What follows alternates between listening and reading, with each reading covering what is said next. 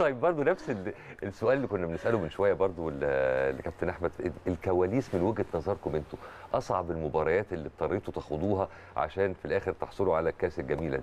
هو كان أصعب يعني ماتش كان الظهور اللي هو إحنا يا نكسبه خلاص يا إما إحنا آه، خلاص آه. نطلع بره البطولة. فده كان بالنسبة لنا اللي هو إحنا لأ إحنا إحنا نازلين عايزين نكسب يعني. ده ده بالنسبة طب وانت بالنسبة لك آه إحنا كان نفس أهم ماتش؟ الظهور. أوكي.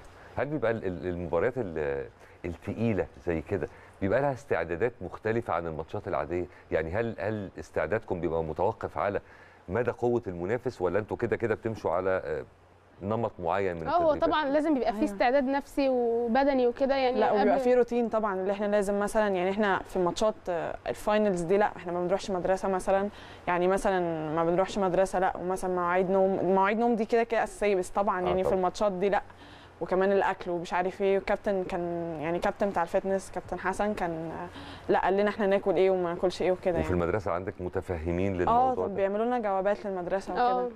وممكن أوكي. يجي له امتحانات ولا الموضوع بيبقى آه. فعلا؟ آه.